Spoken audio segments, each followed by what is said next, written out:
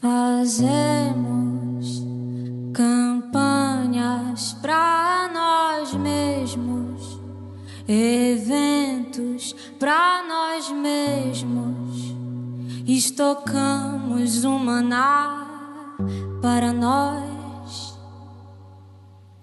oramos por nós e pelos nossos, o reino virou negócio. O dízimo importa mais do que os corações. Há um evangelho de fariseus. Cada um escolhe os seus e se inflamam na bolha do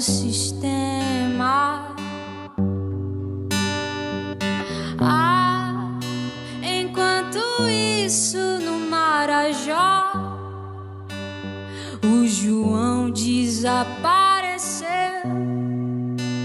esperando os ceifeiros da grande seara. A Amazônia queima.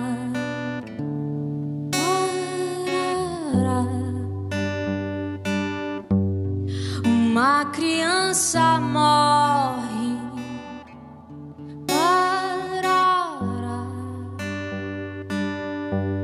Os animais se vão.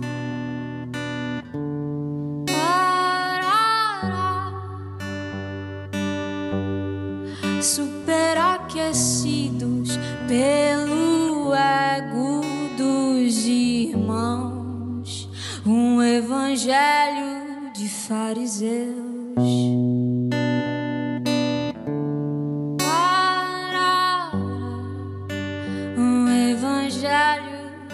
Fariseus.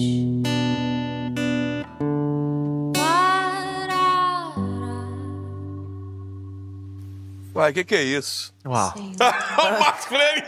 O Marcos Freire! Ô, Marcos, eu sei que tem que comentar, velho, porque essa menina tem uma perspectiva da vida, ela tem assunto, ela vê o mundo, ela não se cala. Você tá lascada, tá?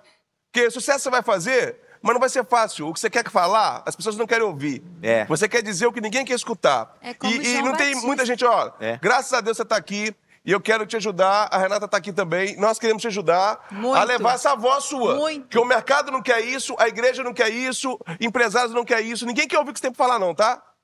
O que você fala não, não interessa as pessoas do, do mal.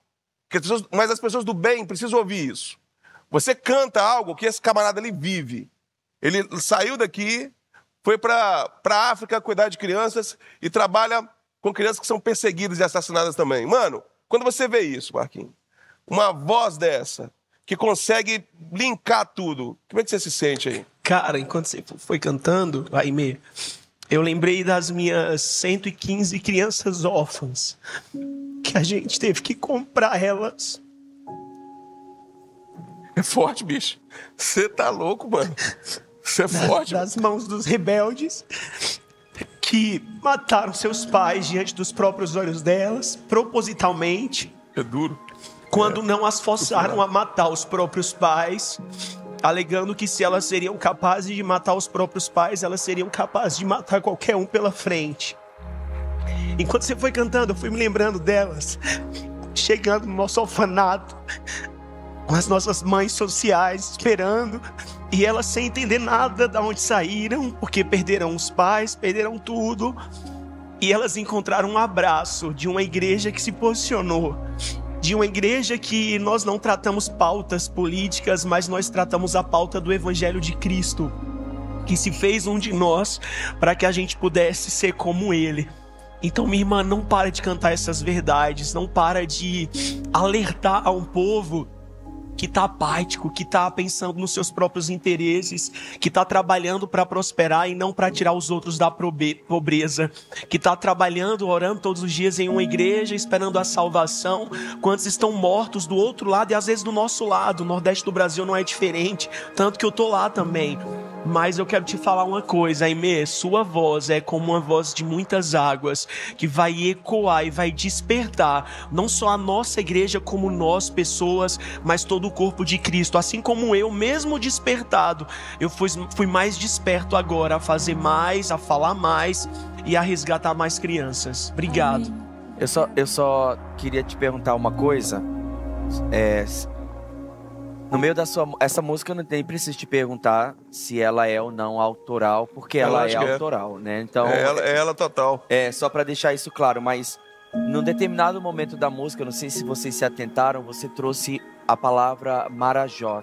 Você está se referindo às ilhas de Marajó? Você fala, enquanto isso, lá nos Marajós, é, crianças. é, é, você fez uma referência ao- a um local. Tem alguma história por trás disso? Porque isso, isso despertou muito forte. Eu acho que tem alguma experiência que você ouviu ou ouviu que marcou teu coração e você trouxe isso pra essa música. Eu tô errado? Marajó é uma ilha Aham. a alguns minutos de Belém, né, na minha terra.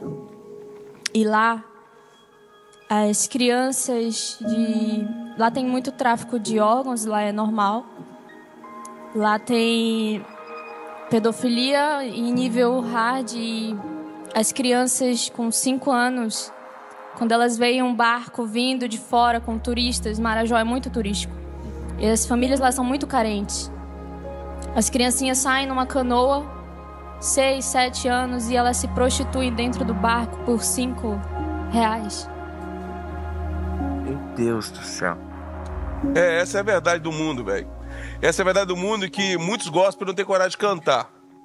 E é isso mesmo. É. Eu sinto falta disso. A Renata sabe, a gente sempre Sim. vem falando sobre isso. Ah, não, cara, eu tenho E que ir lá. suas canções são muito lá, lá. fortes. Licença, viu, Pedro? É, temos que falar sobre isso, Sim, cara. A igreja sim. tem que se manifestar Sim, isso aí, através sim. da cultura da arte. É isso. Temos que manifestar nosso ponto de vista também, cara. O protesto faz parte da arte, da música, e é Jesus- isso. Jesus É me fala que às vezes nós cristãos nós terceirizamos muito pro governo, É que é de responsabilidade nossa É isso mesmo. como cristão. Eu te dar um abraço. Vamos ver. Uau. E a Bíblia ainda diz, né, para nós ministros e cristãos, aquele que pensa que tá de pé. Você é muito criativa, as suas canções são muito fortes, você tem uma doçura que prende a atenção. A sua, as suas músicas, elas vão para fora da igreja, entende? Você vai alcançar com a sua arte o mundo. E eu sei que através da sua mensagem muitas pessoas vão ser alcançadas. Então mantenha o seu propósito, continua escrevendo, continua trazendo isso, conta conosco. Mais uma vez o Alex já falou aqui, eu quero reforçar o Dom tá de parabéns, produção, seleção, tudo assim com tanta excelência e nos dá a oportunidade de dedicar esse tempo para ouvir vozes que têm tanto potencial para marcar a história dessa geração. Eu fico muito feliz né, de representar isso, a Universal. É, contem sempre conosco, porque é esse o propósito: levar a mensagem de Cristo além das igrejas, porque lá fora tem muita gente que precisa conhecer a arte cristã. E o Alex, ele é, realmente é um defensor da arte. E eu concordo com ele. Precisamos de mais disso nas nossas igrejas. Parabéns. Obrigado por se inscrever. Parabéns, viu? Obrigada. Valeu. Parabéns. Obrigada.